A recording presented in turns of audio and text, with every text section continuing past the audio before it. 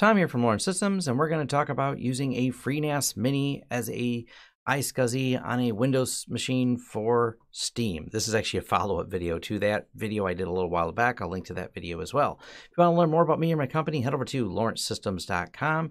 And if you'd like to hire us for a project, there's a Hire Us button at the top. If you'd like to reach out to us other ways and have a chat, absolutely, there is the forums for that as well if you just want to talk about video suggestions and such.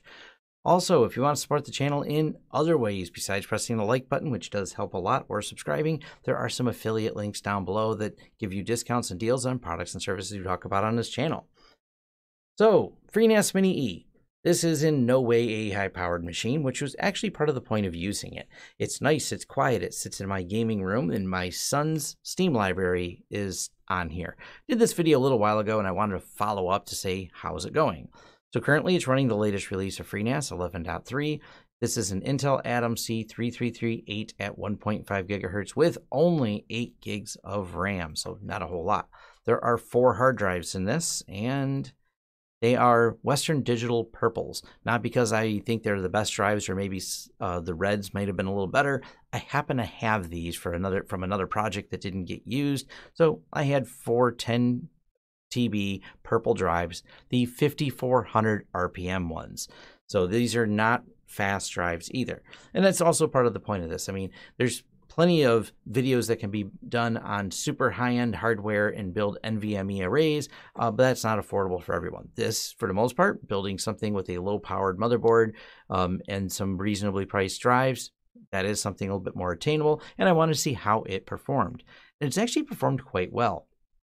So the system, my son has about a uh, terabyte so far moved over there, and we're going to talk about first the performance.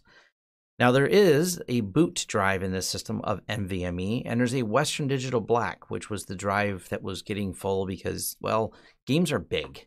And uh, I don't play a lot of games. My son does, and it was constantly running out of space. So we are doing the shuffle of what game do we have to get rid of. So by setting up a iSCSI and 10 terabytes of iSCSI spread across these drives, I was able to provide a very nice platform by which to install a lot of games. And I wanted to show the performance. And the performance, because this is only connected at one gig, is dramatically going to be affected by that. I, this was the beginning point. Later, my plans are to upgrade this to maybe a faster system with a caching drive and a uh, 10 gig setup. But for now, this is all being performed at one gig. And it's not bad. So here is what the 64 uh, megabyte test performance looks like on the Western Digital Black right here, which is the D drive. And we made S for, you know, SCSI, uh, the drive that controls the system on FreeNAS. So you can see, not too bad. Uh, we get faster read performance here, faster sequential performance here. So 193 IOPS versus the 104. So yeah, we are faster with the onboard drive. Until you get down to the random 4K, then it slows down substantially. You just don't get that same level of performance you get. Now you do, of course, on the NVMe drive, which is the boot drive, the C drive here, but the Western Digital Black, eh, it doesn't quite do as good you know, of course, it's spinning Rust. Everyone can point out that you'd be better off with an SSD. Yes, you buy a bunch of SSDs; they're obviously more expensive, and uh, 10 terabyte of SSD is going to cost you quite a bit of money. But when we get down here, this is where things really fall flat. When you go to the one gig performance, so now we start looking at the sequential, the sequential, and here we're actually even better over on here, and you can see especially when you talk about random 4K, with ZFS and the caching, you get quite a significant boost comparatively. Not still as fast as an NVMe, but compared to a spinning drive and having 10 terabytes of storage, I'm pretty impressed with how it performs. And I want to dig a little further into that to talk about, like, so to speak, the real world performance of this. And if you haven't seen this tool, it's called WinDirStat. And I'm remoted in, I'm here at my office, remoted into my uh, computer at home, which is why it's taking a second to redraw the screen. But what you can see is when you start looking at different games that are installed, different games have different ways they lay out the asset files. And when you start looking at like Ark, which has a absolute crazy number of files, there's a 115,000 files uh, files in here around 11,974 folders. That's where those tiny little reads and writes kind of go crazy. Ark loads, I didn't do a timer with a stopwatch, but Ark loads substantially faster and plays better running off of iSCSI than it did on the Western Digital Black. So that's where this uh, is I started really thinking about like what's the differences on there.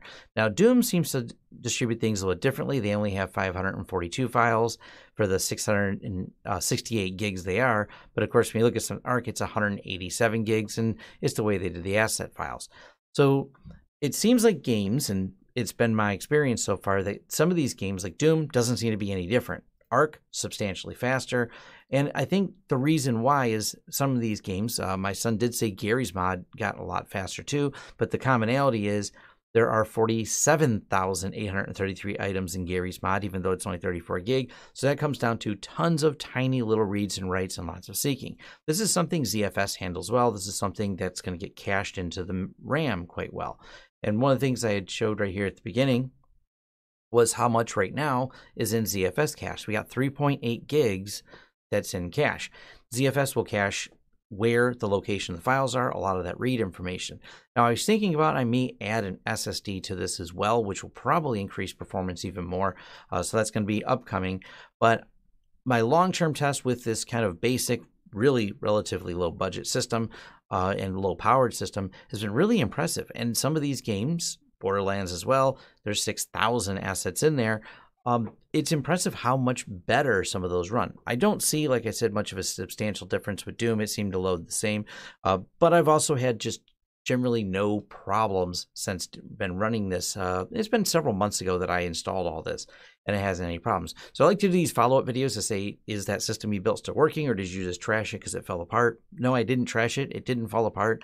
It still works well. Uh, the only disappointing thing is my son has so far only added uh, 873 gigs of games to it. He didn't move everything over, and some of the EA games uh, and some of the other game alerts that aren't Steam don't have as easy of a method to transfer things between there. Uh, some of the games actually require a reinstall, um, and you don't have to say re-download it. You got to move this, move that. There's a couple processes. And one thing I will say for Steam is they've eliminated all those headaches, and you can just grab a library and move it somewhere else. But gamers are going, Tom, we know that. Well, I'm not a gamer. This was interesting to me that you could just move the install folder um, through through Steam and with relative ease to move it to another drive.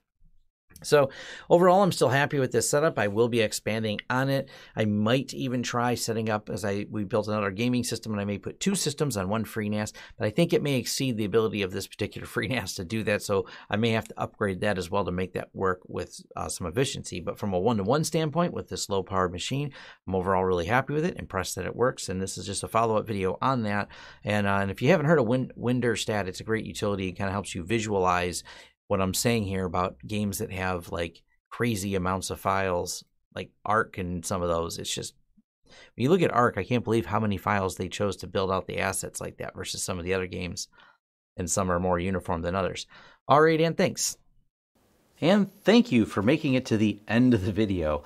If you like this video, please give it a thumbs up. If you'd like to see more content from the channel, hit the subscribe button and hit the bell icon if you like YouTube to notify you when new videos come out. If you'd like to hire us, head over to lawrencesystems.com, fill out our contact page, and let us know what we can help you with and what projects you'd like us to work together on. If you want to carry on the discussion, head over to forums.lawrencesystems.com where we can carry on the discussion about this video, other videos, or other tech topics in general. Even suggestions for new videos, they're accepted right there on our forums, which are free. Also, if you'd like to help the channel out in other ways, head over to our affiliate page. We have a lot of great tech offers for you. And once again, thanks for watching and see you next time.